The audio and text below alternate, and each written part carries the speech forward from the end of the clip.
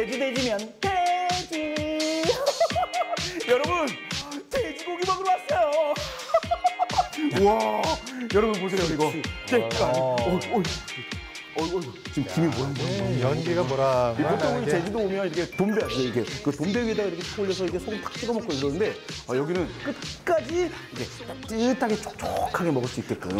그런데 여기는 수육 전문점이라고 듣고 왔는데 고사리 육개장도 엄청 유명해. 여기 앞에 고사리 육개장. 그래서 따로 시켰어요. 가 아니야. 여러분 보세요. 제가 이거 하나 하나 하나 이거 다 시킨 게 아니고 같이 나온 게 수육 하나를 시켰더니 세트군요. 다 나와. 3만 원대 한 상. 오이야. 이거는 중짜를 야. 시켰습니다. 3만 원대. 초무침까지. 가성비 갑이야. 좋은데. 와. 또한 네명 너무 먹으면 대단해요. 뭐부터 먹겠다, 모르겠다. 너무 너무. 아, 또 욕심 부린다 또 처음부터. 와, 이게 밑에서 김이 계속 올라오는데, 어, 육즙이 막 떨어져. 약간 저게 그 채소에 약간 기름기가 먹은 상태에서 먹으면 더 맛있더라고요. 그렇죠. 아, 아, 오늘따라 쩝쩝하시네요, 소리가. 어, 되게 쩝쩝거리네. 아, 스튜디오에 계실 김성웅 선배님이 생각나네. 우리 또 좌 선생 진짜 맛있나 보네. 또 쩝쩝대는 거, 쩝쩝대는 거 저거. 쩝쩝대. 진짜 야. 맛있는 음식은 이상하게 더 쩝쩝대지더라. 김성웅 선배님 오늘도 많이 쩝쩝댈게요. 아니 보통 수육을 삶을 때 집에서도 커피도 넣고 각종 뭐 계피니 뭐 감초니 월계수 이비니 뭐 쌍화탕 분들도 계시고 콜라 굉장히 많이 넣어요. 근데 이거는 굉장히 깔끔해 보여요 고기가. 도대체 뭘 넣는지 모르겠어. 근데 잡내가 하나도 안 나.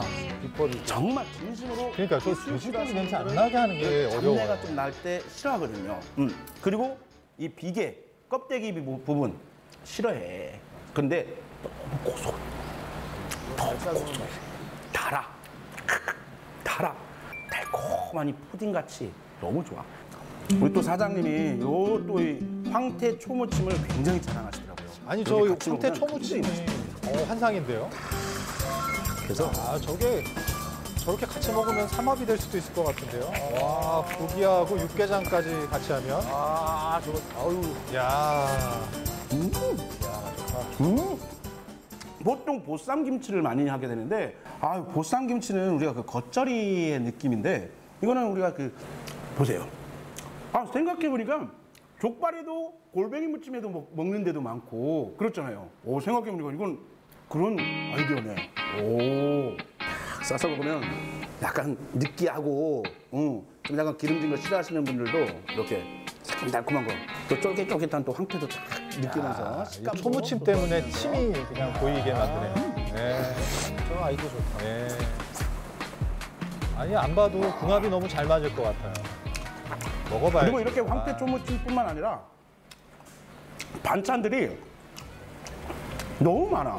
반찬이 많다 보니까 하, 이게 황태 초무침도 굉장히 좋지만 다른 반찬에 또 이제 싸먹을 수 있는 방법을 우리 사장님께 팁을 좀 받았습니다.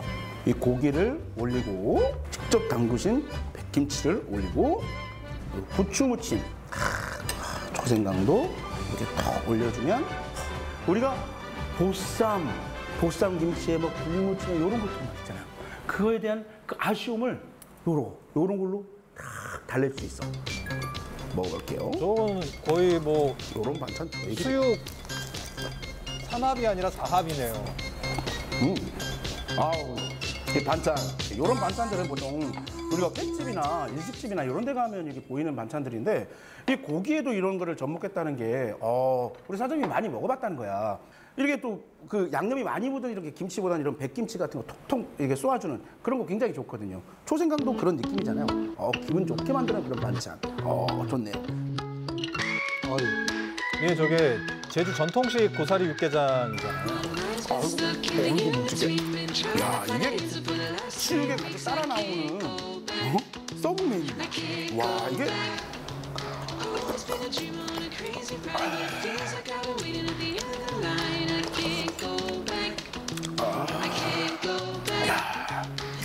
여기 수육 전문점인데 고사리 육개장 전문점을 옆에다 다시 또 하나 차려야겠다. 보통 수육을 먹은 다음에 뭔가 뻘건 그런 국물들이 나오는 게 거의 보통인데 김치찌개라든지 그런데 약간 좀 느끼할 수 있는 육개장이 나온다는 게 좀 의아했어요. 그런데 느끼하고 헤비하지 않아. 음. 깔끔해. 아, 드디어 밥이 나왔군요. 아, 난 밥을 왜 안 먹나 싶었는데 이 육개장을 먹으면서 생각난 게 이 앞에 먹었던 이 수육에 먹었던 이 반찬들이 이제 또 다시 생각나. 육개장에다가 황태 초무침을 탁 올려서 먹고 싶다는 생각. 그리고 백김치를 올려서 먹고 싶다는 생각. 부추무침을 올려서 먹고 싶다는 생각.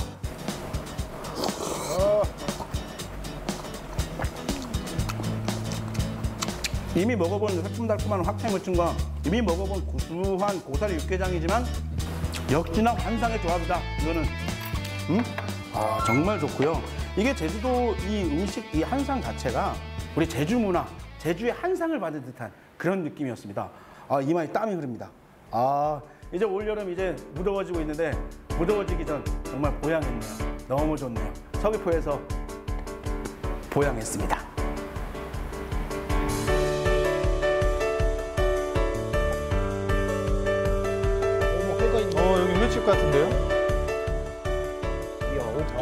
여기도 밑반찬이 많이 나오네요. 아, 좋은데 여기. 예. 여긴 또 어디야? 여러분 와 엄청. 화려하고 어, 보세요 엄청 맛있는 것 가득 야, 정말 한상 차림이네요. 한- 한상 차림. 한정식 집에 한 상을 받았습니다. 30만 원짜리 한 상입니다. 어, 공 하나 빼고 3만 원. 어, 3만 원이요? 대단합니다. 뭐야 이거? 이게 어떻게 3만 원이야? 2인 1인은 15,000원. 야 서귀포 동원동에 있는 아주 아주 유명한 제주 도민 맛집. 어, 관광객들보다 도민들에게 더 유명한 물회도 맛있고 정식도 맛있고 회도 맛있고 저녁에는 회 먹으러도 많이 온다는 아 이곳을 소개할 줄이야 너무 감사합니다. 회가 저 회 그냥 이렇게 이렇게 한 대여섯 점 있는 데는 많이 봤어요.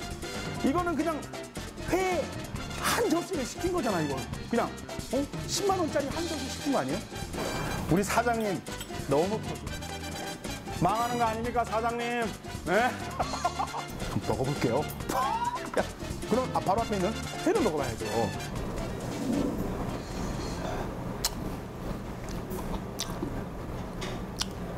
싱싱한 광어입니다.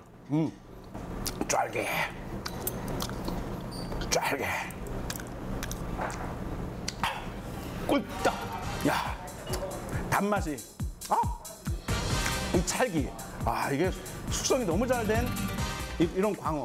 이게 시원한 맛 나면서 이 달짝지근한 게 이 찰기가 입안에서 쫙쫙 달라붙는 이 맛. 근데 이 광어를 신선하게 먹는다고 해서 바로 해서 먹으면 약간 음, 흙맛 같은 게 나요. 흙맛 같은 게 나는데 그 흙맛을 좀 없애기 위해서는 좀 약간 숙성을 시킵니다. 근데 이게 숙성이 굉장히 잘 돼서 고소하고 단맛만 나는 시원한 맛이 나는 그런 광어네요.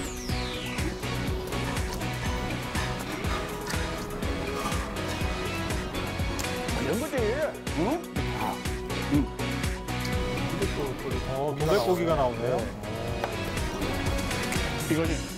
이거야. 이거 김치찜 밥도둑이야. 야, 멜이 들어있네, 멜. 나 꽁치인 줄 알았네. 어, 매일 찜이요? 어, 먹으면서 그 다음에 뭘 먹을까 생각할 수 있어. 응? 아, 밑반찬이 많이 이밥 나오네요. 먹으면서 행복하다는 느낌은 이런 거에서 느끼는 거예요. 먹으면서 계속 웃잖아. 응? 어, 저 김이 아니에요? 계속 올라가잖아. 응?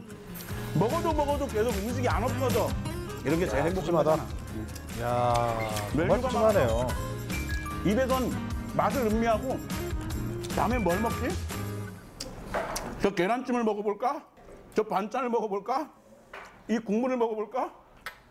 계속 그 생각 중이야. 아, 김이. 와.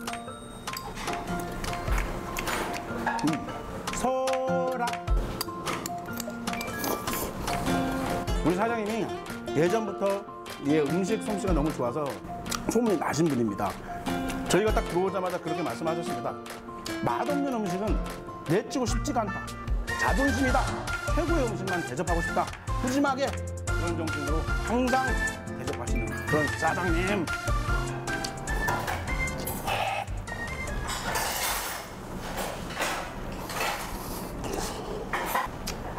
계란찜은 시켜 드셔야 되는 겁니다. 뭐 자리 문제는 별도로 시킨 거랍니다. 그렇죠. 예, 저거는 다른 거죠. 그렇죠. 세트가 아, 아닙니다. 그렇죠. 물회. 우리 이제 물회의 계절이 돌아왔습니다. 아, 제가 SNS를 좀 약간 뒤져보다 보니까 우리 사장님이 물회를 준비하기 위해서 하, 상과들로 이 제피, 제피를 따로 직접 돌아다니시더라고. 와, 대단하셔. 야, 우리 사장님 너무 정성도 참 어, 대단. 야, 수저가 필요 없다. 저걸 한 입에 넣진 않겠죠? 여러분. 헐. 어. 야, 대단하시네요, 차 선생. 이게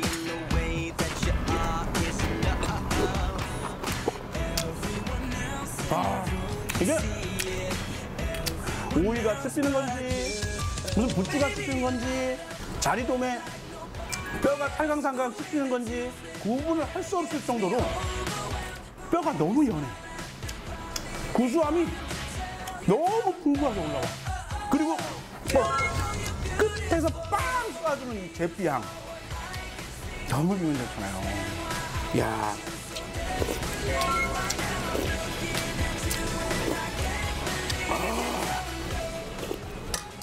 고생하셨습니다. 아, 오늘. 와, 오늘 진짜 잔치상 진짜 많이 먹었다. 아, 근데 이건 좀 아쉽다. 일어나다 다시 앉은 거예요? 아, 또 앉아서 먹는 건 잔치상 아니겠죠? 진짜 푸짐하게 받았다. 장가 가야겠다.